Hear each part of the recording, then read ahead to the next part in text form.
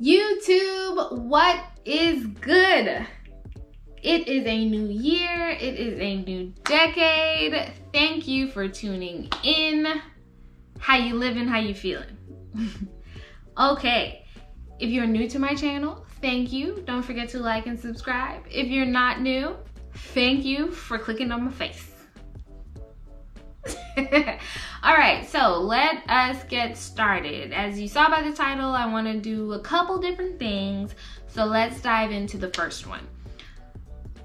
My Christmas present. I have to give Richard his props. He bought all of this stuff and I never even told him what I wanted for Christmas. So uh you did good, kid. You did good. Now, I already filmed a first impressions of this, so if you haven't seen it, go check it out.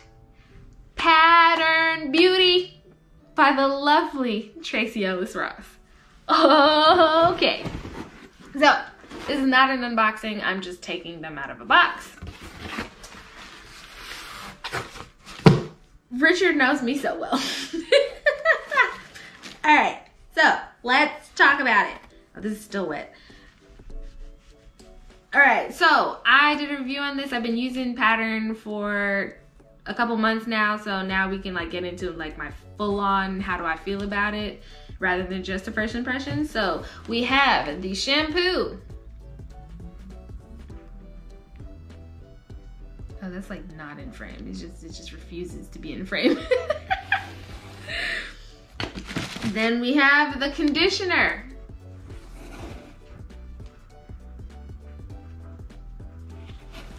Then we have the leave-in conditioner.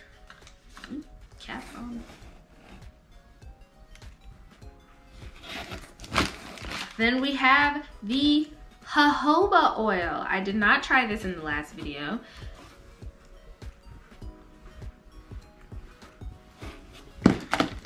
We have the shower brush, the clip, the hair clip,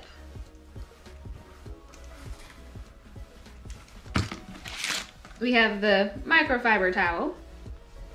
And then it also came with a card. There's some words on it. I'm not gonna read it because this video is gonna be long enough as it is. okay, so let me talk about, all right.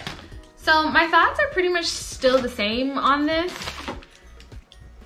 I really like it. It works very well. She did a fabulous job with this. Um, Again, I do not personally care for the smell. I prefer to smell like sunshine and tropical rainbows, and this is just very perfumey. It smells more perfumey in the bottle than it does in your hair though, so that's a good thing. But again, this is just personal preference. It, it smells good, it's just not my thing. Um, so here's how my general like wash day goes. I sing and dance, and then I sing, I sing and dance, that's how I start off. And then I sing and dance once I get in the shower. Then I shampoo and rinse with a medium to soft bristle brush twice. And then I go in with, I do a, a, conditioner, I do a deep conditioning. So I like lather this on, get it real thick and whatnot. And um, basically wear it as a mask. So I let that sit in my hair and then I soap up, wash up, and then as I rinse off, I rinse out my hair and I detangle it with a wide tooth comb and then a fine tooth comb. And then depending on how dirty I feel like my hair is, I will go back in and shampoo one more time. But again, that's only, that's if I'm feeling a little uh, frowsy.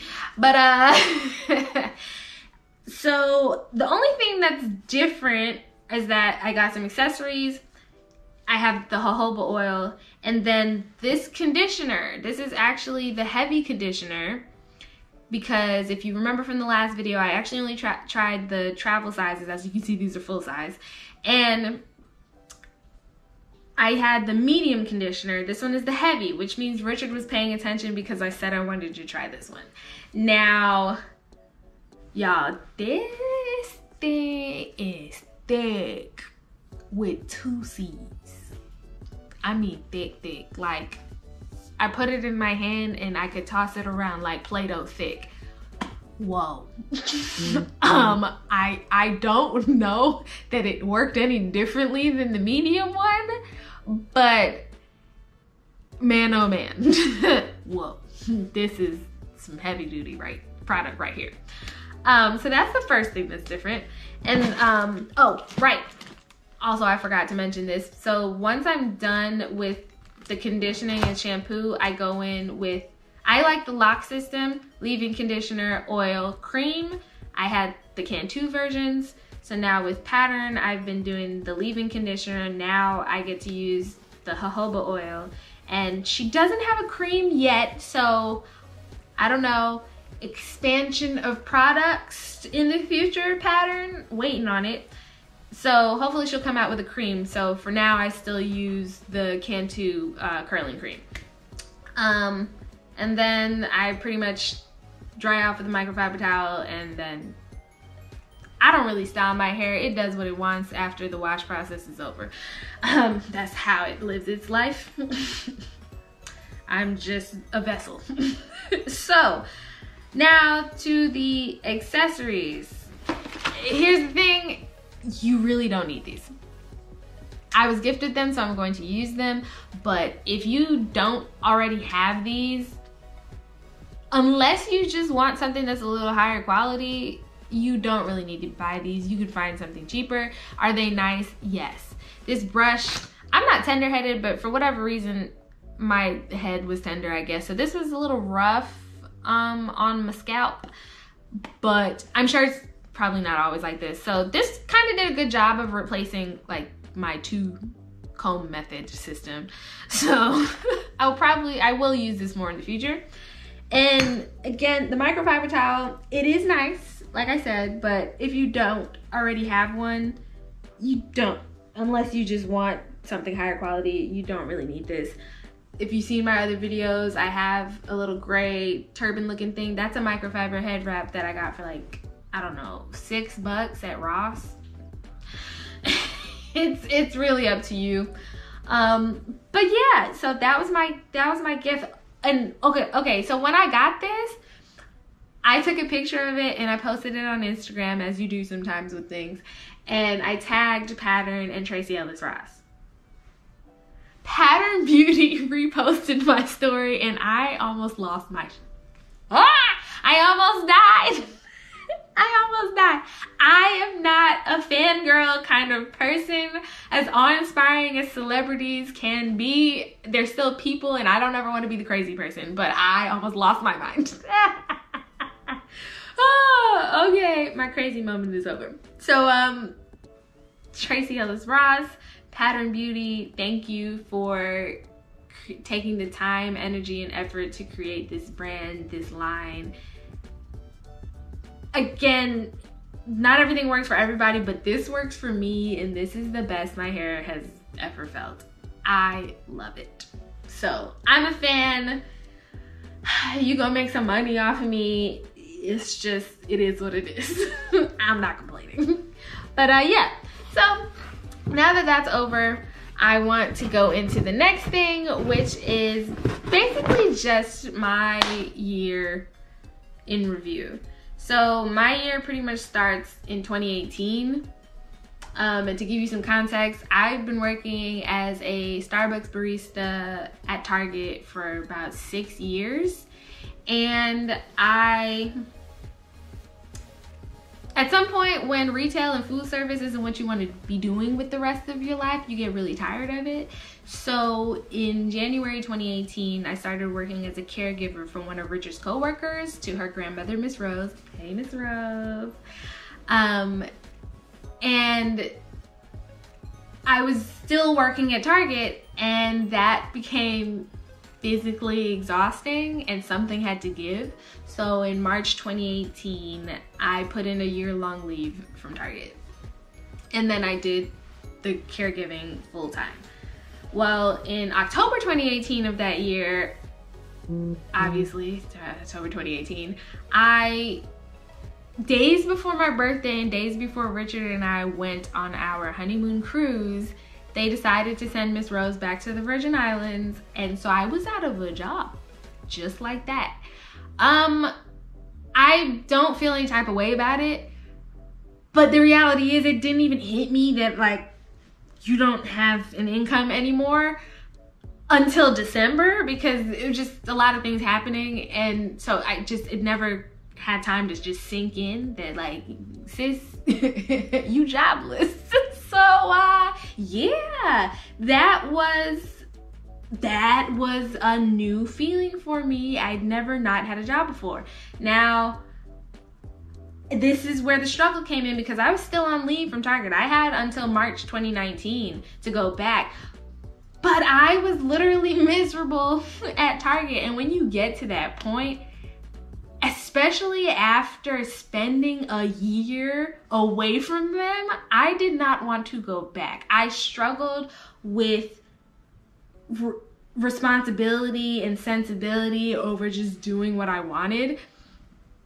And it was such oh my gosh it was such a hard decision. I i had numerous conversations with richard about this. We went back and forth about this for the longest or should i say i did because his response was the same. Hey you want to go to school? Go to school. You want to work? You go work. You want to build a business? Build a business. If you want to stay home and do absolutely nothing you can do it i support whatever your decision is 110% i got you i got us I love that man, but that did not help me. it did not help me at all. And I get it, I get it. It was a choice only I could make, but boy, was it a hard one. um, eventually it just kind of boiled down to my peace of mind, which is what I had when I was not at Target. So I had until March 20th to tell them whether I was coming back or not. And on March 15th, I went in there and I was like, yep, I'm not coming back.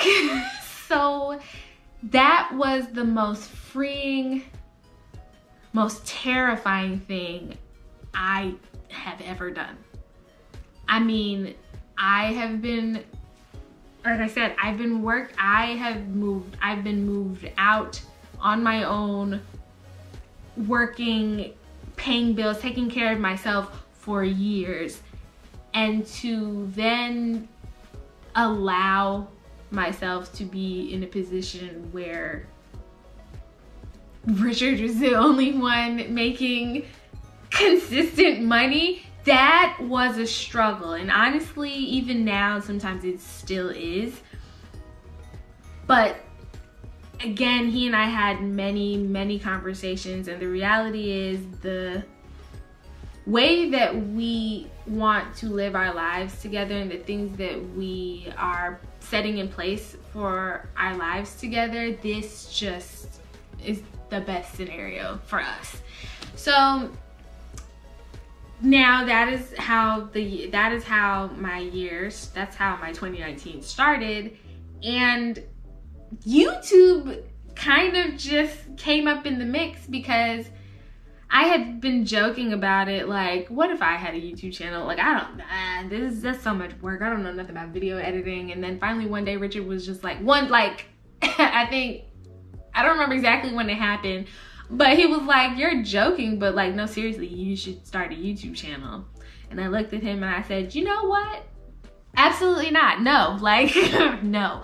I don't know anything about video editing. I don't even need to be a YouTuber to know how much work goes into that. Social media, posting, pictures, updates, editing, all of that. I don't have money to pay someone to do it for me, which means I would have to learn how to do it. I don't know how to do any of those things. No, I'm just not. Nope. Nope, that's too much. I'm not doing it. Needless to say, Hey, hi, hello, Mel Logan, YouTube. Um, hello, welcome to my channel. Here we are. Um, and the crazy part about it is, you know, like one of the only reasons Richard even, I mean, there's two main reasons Richard suggested this is because if you've seen some of my other videos, I'm really, I love crafts and DIY, stuff like that. So he felt that this was a good way to not only give me something to do when I have downtime, but also to put myself out there and hopefully help me to build a brand, which is something I'm not good at. So any of you business people out there who want to help a girl out, get at me. I'm more than willing to, to work with people. Um, so that's how I started, and this has nothing to do with money. Contrary to popular belief, um, I just do this for fun and I kind of just want to have fun with other people, which is honestly the main reason why I asked for subscribers. Now, the reality is in doing this, I did a lot of research before I just decided to do this. I didn't just up and be like, yep, I'm making YouTube videos now. Did a lot of research into this. I mean, like three months worth. So, um, one of the things that I noticed in doing that research is that basically everyone just says just start, just start. It doesn't really matter what it's about, what it is, how it looks, what kind of camp, the equipment you have, just start, just do it. And also, even though I don't do this for money, I think it was video influencers said this, you are always just one post away from your entire life changing. And I think that's very true. Um, but again, that would just be kind of like a bonus if my YouTube channel just took off overnight. that would just be a bonus. Until then, I literally just have fun doing these things. I still hate editing with a passion, but it's just part of the process. Um, I just like doing these, I just like making these videos and then sharing them with people. So that's why I'm here. And uh, yeah, so that's how my year started. That's how I got into YouTube. And then the rest of the year was pretty simple. My best friend got married this year. I was in their wedding. I planned a bridal shower, a bachelorette. Richard and I went to Jamaica for his birthday. We um, then we turned like right around like a couple days after that and went up to New York to see his sister while she was in town from Tanzania and see his dad and spend some time with them. Um, I'm actually working on that video now. and all I gotta say about that, Richard, his sister, karaoke. Ooh, ooh, it's, it's just my favorite thing ever. I love it. The two of them together, but karaoke. Oh, magic. Um, so great video. Be on the lookout for that.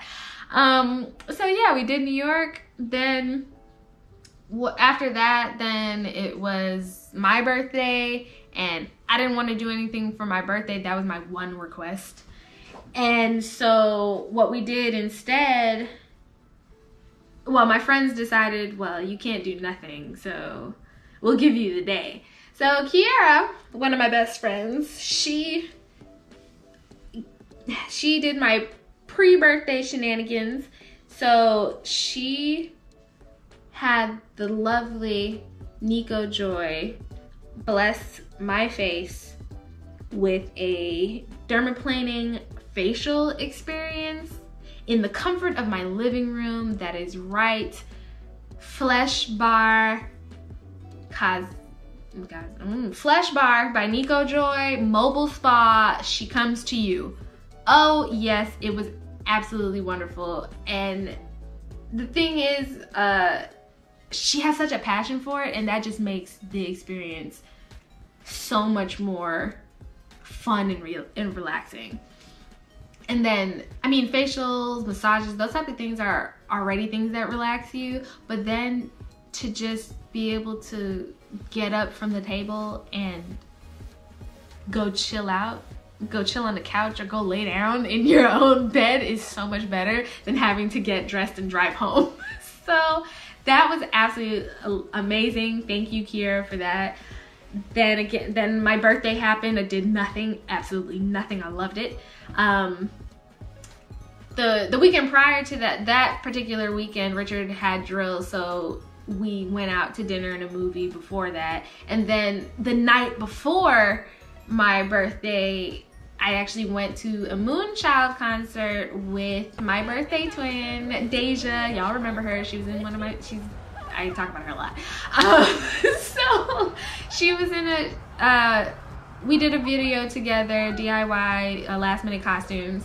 And I went to a Moonchild concert with her. That was really nice. I've never really, okay, I'm not gonna lie. I don't particularly care for their music necessarily, but they are beasts on them instruments. I mean,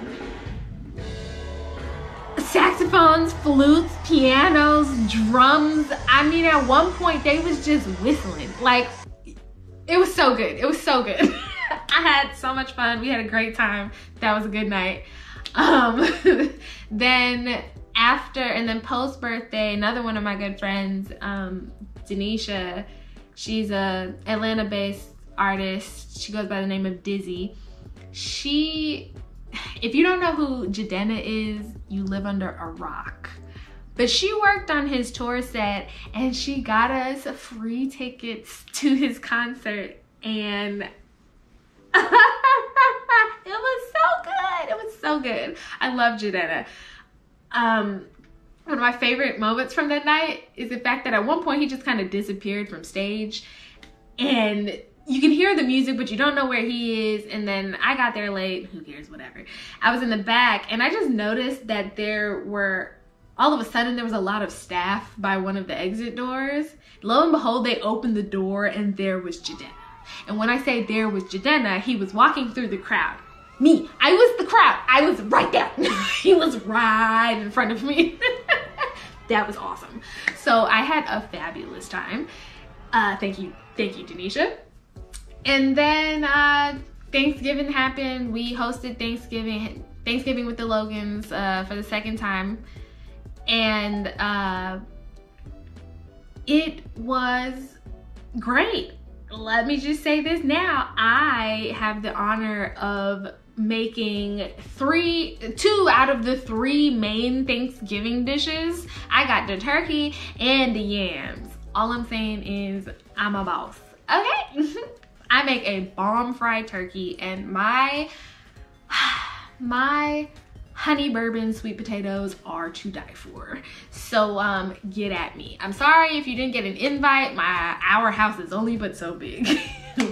But uh yeah coming for you. Uh, thanksgiving with the logans 2020 is, gonna be on and popping. Um after that i decided that you know what? We don't really hang out with our friends enough so i wanted to throw an ugly sweater christmas party. Hashtag elfed up with the logans oh it was so good it was so so good we had games we had competitions prizes, alcohol, food, fun, laughs. It was so good. I got to actually bring in one of our friends' birthday. Her birthday was the next night. I mean, the last set of people didn't leave until like almost four o'clock in the morning. It was such a good time. I can't wait. We're doing it again this. We're doing it again this year. Um, and then after that, it was uh, Christmas Eve and Christmas, and then that was pretty much my year. Um, look, uh, it's been it's been a fun one, I to say the least, and I will say one of my biggest takeaways from 2019 is that